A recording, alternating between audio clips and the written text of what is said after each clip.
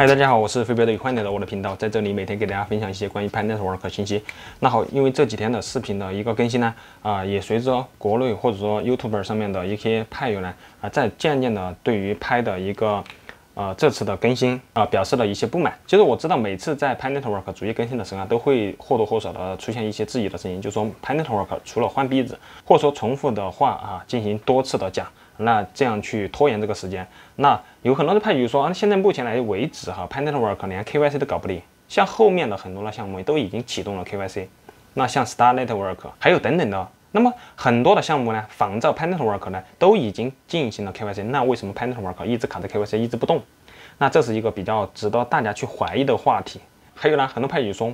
虽然说啊，他参与了很多的项目，但是对于 Pi Network 来讲，他花的精力是最多的，同时呢，参与的时间也是最久的，都是因为挖着 Pi Network，挖着挖着啊，发现了其他项目，那就进行去挖一下。那么反正都是免费的，反正都是白领的，那就领一下。但是呢，他始终还是忘不了 Pi Network，始终还是认为 Pi Network 是老大，认为在 Pi Network 上面要花费更多的精力去了解它。那我们知道，现在我们了解的最多的一个渠道是哪里？是在群组。因为我们现在在内地区啊，很多人呢就是建一个微信群，或者说建一个 QQ 群，我们在里面去聊一些东西，或者说我们每天分享自己的一个心得。那这样的话，在每天陪伴着我们点闪电的这个过程中呢，不至于那么无聊。所以说这种做法呢是啊去打发时间的。那还有一种呢，就是说我们去学习的，有的群主呢他是打着一个学习的目的去的。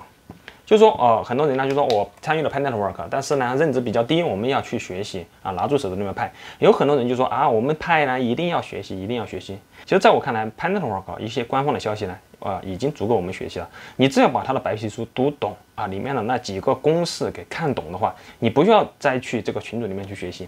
群组里面更多的学习啊。并不是底层逻辑，也并不是技术，而更多的是内心里面的一个心得啊。我们怎么去拿这个派啊？我们未来应该怎么去操作这个派啊？这个派币拿的时候我们怎么花呀？啊，大概都是这几种类型的。所以说，很多的派友呢已经听得比较不耐烦了，就说你们叫我学习学习学习，结果每天听的都是鸡汤鸡血啊，这些东西没有意义。那再反观过来看到拍 App 里面的一个更新，之后每次都是换一张壁纸，或者说重复的啊，这个东西怎么操作？那知道的，我们这次的拍的主页更新是来源于一个钱包的。那这个钱包的更新，我们知道有一个主网的呃钱包，还有一个测试网的钱包。主网的钱包，我们必须是这极少部分的人啊，通过 KYC 之后，你才能拿到这个主网的映射币去主网里面去运作。那很多派友其实是没拿到的，所以呢，更多的派友没拿到这个主网钱包的派友呢，就说：哎呀，这个更新和我们没有太大关系。跟我们讲也没太大关系。你说这个钱包不钱包的，我们钱包已经早就注册好了，助记词那些全部记好了，并且已经绑定了，但是 KYC 没过。很多人就在考虑这一点，就是说未来的十八个月啊，上一次啊，我在我的节目里面也说过啊，有一个采访的视频嘛，采访了尼古拉斯十八个月的未来的一个情况。那这个时候尼古拉斯说，现在。挡在他面前的啊，并不是说是我们要考虑什么足啊，什么值钱啊，考虑的还是这个 KYC。那很多派友就说了啊，这个为什么别的项目都能够那么轻易的 KYC，为什么 Panetwork 不能那么轻易的 KYC？这是何种原因？其实，在准确来讲 Panetwork 的 KYC 呢是源于自己的一个数据库，它自己的数据库呢，它要将它进行分化，再去打包，然后存在以后的一个区块链的这个节点里面去。那这个区块链的节点，它以前说了要去进行一个我们能够去人工的去审核，然后知道啊这个人是谁，但还要把它给切片，就是我们每个人去投入的一个信息哈，我们这个信息呢，它是要帮它给切块的，切块之后放在不同的这个节点里面，那这个节点呢，我们去审查的时候，啊，你这个作为一个验证员去审查这个 K K Y C 的时候，你看哦，这个有些模糊的信息，我们可以通过啊看是不是他的。呃，或者说可以把它最终整合在一起，但是在存储的时候呢，我们把它存在节点里面的时候，是以切片的形式去碎片化的存储的。所以说，如果说我们这个节点里面报废了，或者我们节点里面进行了一些被公转这块，它信息也不会被透露。所以说 p a n e t w o r k 它做的这个 KYC 呢，它并不是这个中心的，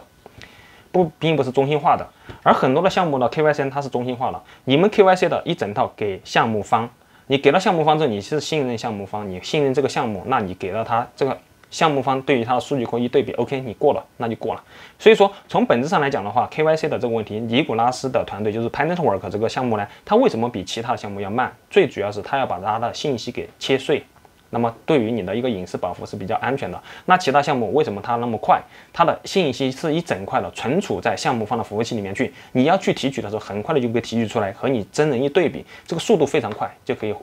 对比成功。对比成功之后，那你就通过 KYC 了。那从本质上来讲的话，安全性来讲，Pi Network 的安全性更加高，但是它的花的时间、花的精力和花的这个费用呢，肯定会比较高。那像传统的这个 KYC 呢，放在服务器里面，它的价格自然便宜了。那这是这一点关于 KYC 的，然后我们再来说一点，我做摸久了之后，我参与 PANETWORK 的一个心得。其实我是参与的时间并不算太久，你们有很多人其实比我的时间还会更长。但是在我看来的话，我在参与 PANETWORK 的时候，要更多的是一种啊以闲暇的时间去做的，每天该做的事还是要去做，每天该上的班要去上，每天该去挣的钱还得去挣。这个派呢，我们作为一个希望去存在。那你不能说是每天我们考虑到这个积雪听多了之后，拍未来是值钱啊，值钱啊，我们要拿住啊，我们要去学习，不学习的话，未来守不住这个财富。那未来的这个事情，你守不守得住这个财富，是靠你的现在去听这些鸡汤能达到的吗？我们听的越多，我们觉得项目方越慢；我们看的越多，我们觉得它越慢。我们觉得这个成功对我们带来的好处很多，但是我们此时看不到成功，我们就会觉得慢。那很多人就说了。五年之后可能再等五年，可能还上不了公开线的主网。其实上公开线的主网只是项目方的一方面啊。那上公开线主网可以对接很多其他的链嘛，可以上交易所嘛。那如果说我们未来这个所有的三千五百万人都通过 KYC 都进行钱包映射的时候，上不上公开线的主网，我们内部其实已经应该是可以流转起来的，然后达到一个内部的循环。那这样的内部循环，其实说实话，你要说是没有新的人加入呢，内部运行起来也是这么大一个盘子也。不可能说是造成太多的一个呃经济增长，我们内部的经济增长，或者说这个派币的价值有多高多高，它必须要是源源不断的去进入到内部的一个新鲜血液。所以说，在我们的内部的人进行 KYC 差不多了，大家都运作起来的时候，需要外部进入的时候呢，这个呃通道才打开。那么大概是这样的一回事。所以有的人就说我在为项目方洗白啊，以前都是半年几个月要公开性的做完了，现在动不动就一年半。那其实说实话，我只能说是我不是跟项目方洗白，我是以我的一个判断来讲，可能是在一年半以后才考虑上公开性的主网的事情。因为从我的这个推断来讲，KYC 现在过的人没有多少，而且这个 KYC 是从今年的三月十四开始的，到现在你看三月十四到现在的已经啊八月份了啊，整整的五个月的时间。其实通过的人，我们在这个描述上来讲是说通过的人会越来越快，越来越快，越来越快。但是呢，实际上肯定它速度是快，但是我们基数又这么多，目前呢还有很多区域呢是卡在 KYC 的这个阶段。那比如说大陆地区的，还传说其他的菲律宾或者越南地区啊，我不知道是到底哪个区域啊，还出现了这种啊停止让他们 KYC 的这种情况。那所以说目前来讲的话，出现最大的问题还是 KYC 这一步，大家都卡在这里的没动。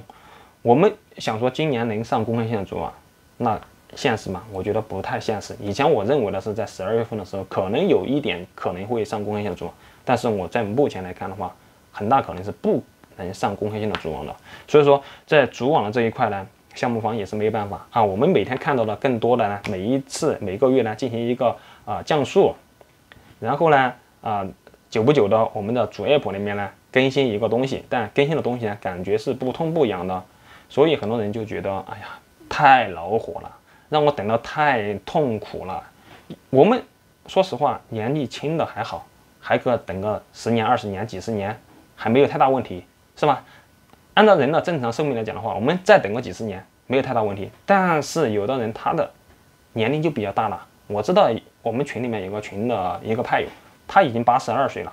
你让他再等，再等几年，他有多少个五年让你去等，是吧？很多人在担心这一块，所以说每天在觉得。这个拍呢真的是太慢了，有的很多人呢，在国内的，我也在 B 站上面去上传我的视频。那上传的时候啊，有很多人在说了，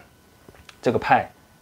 真的是太恼火了啊，一直在拖，一直在拖。明明能够去很快做好的事情，他一直没做好。所以说大家一直在纠结这个点。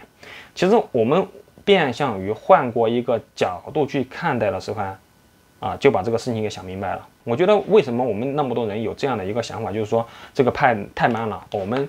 呃觉得耽误了大家的时间，让大家的心力白费了。其实说白了就是说这个学习让我们学的太多了。就很多的群组里面每天都跟大家灌输的是这个拍未来值多少钱，未来非常厉害呀，我们一定要拿好了，我们每天要学习啊，我们每天的关注点就在拍的身上了。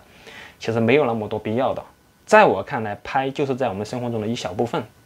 而我们生活中的大部分呢，目前来讲就是我们的家庭、我们的一个啊朋友，还有我们是否去挣钱，让过好现在目前的人生活是重中之重。那至于 panel work，我们未来值不值钱，我们现在准确来说没有一个定论。你拿太多的精力放在未来的上面去看，会把现在的更多的心力呢花在上面去，让自己无暇顾及现有的这个生活。所以说每天很多人呢，他拿着两三千的工资，想着。我未来是几十万、几百万、几千万，甚至上亿的这个身价的资产，那你首先还得要考虑一下现在过得好不好，是吧？你每天就觉得哦，我拿着几千块钱工资，我就等到拍 network 成功的时候，我一飞冲天，我将我的主管管我的上司啪啪打脸，把他们的鱿鱼给炒了，哪有这么好的事情啊？我们还得说把现在的这个事情给干好之后，该拿的工资拿了啊，该挣的钱挣了，让自己现在有个相对很好的生活。那未来这个派值不值钱？如果说值钱，让我们的生活更加锦上添花；如果说它不值钱，也不会对我们生活造成太大的影响。就目前来看的话，我觉得国内的派友太过于浮躁了。那么其他区域我不太清楚啊，我也不敢去下定论。但是对于我来讲，现在国内的派友的这个心情太过于浮躁了，认为拍值钱，而且这个钱值非常多，并且想要马上拿到这个钱，我觉得不太现实。至于它值不值钱，应该怎么值钱，它是慢慢一步步的来的。我们每天拿着最低的工资，拿着最少的收入，干着最累的活，还幻想着有朝一日我们啪啪打老板的脸。是啊，有打脸的时候，但是打脸的时候不可能来得太快，我们还得去等待。你就把你的焦点放在你应该如何提升自己的个人能力，自己多读一本书，自己多学习一下区块链的知识。并不一定说是单单的在群里面去学习，听这个积雪，听这个价格。我们学习区块链的知识，可以从底层的技术去学习，或者说我们读一些啊自己觉得有用的书籍，让自己内部的一个提升，而并非是让外部拍 network 成功变成了三百一十四万三千一百四十万的时候，它的那个价值掉到我们身上，让我们来成功。我们如果说自己已经有很大的能力之后，拍成不成功，说实话。对我们的关系不是那么大的影响的。当然，在这里啊，我是希望 p a n Network 成功，并且 p a n Network 已经是往成功的方向去发展了。只是说，我想今天这期节目告诉大家的是，我们的焦点呢，不要一直集中在拍的身上，我们更多时候要将自己现有的这个生活过好。如果说你每天将你的这个焦点集中在拍的身上，你刷抖音的时候去搜 p a n Network，我要看一下抖音里面有什么 p a n Network。你刷长视频的时候，进 YouTube 的时候，你也是搜 Pan Network；进 B 站的时候也搜 Pan Network。你脑子里面全是 Pan Network。进群组聊的也是 Pan Network。除了生活之外，你就只有 Pan Network 了吗？你还没还有没有其他的？有没有你的朋友？有没有你的家人？有没有你的父母？要不要考虑如何增加自己的收入？而并不是等着 Pan Network 成功，一个大的馅饼掉到你头上。所以总结一下，就是我们现在每天去了解的呢，就是啊，群组里面去打一头，早上去和大家调侃一下，吹一下牛，然后更多时候呢，看一下群里面谁说了些什么，我们去学习，这个没有问题。但是我们要把控好时间。那么今年的话，我们知道已经值钱，那是在国外很少的区域的人，就是很少的部分人。我们呢没有成为幸运儿，但是呢，我们知道他已经有参加易货的价值了，没有必要去。即这一时，我们更多的时候把自己的一个注意力啊转移在自己的工作上，转移在自己的自我的一个提升上，然后等着 p a n d Work 去成功。那如果说我们每天什么都不做，光光看着它的话，那你肯定会觉得痛苦。那么每天看见一件事情，它的进展又非常慢，你肯定是比较恼火的。所以说，今天要给大家说呢，就是我们在挖派的时候呢，可以将自己的注意力转移一下，这样的话不至于让自己过得非常的痛苦。那好，今天的视频啊就和大家分享这么多。那么以上的分析呢，仅仅是来源于我个人的一个观点和我个人的一个心得啊。如果说你有什么样不同的看法或者不同的意见呢，可以在下方评论留言。如果说你喜欢我的视频，可以点赞、订阅并打开小铃铛，这样的话在视频更新的第一时间你就可以收到。那好，今天就这样喽，我们下期再见，拜拜。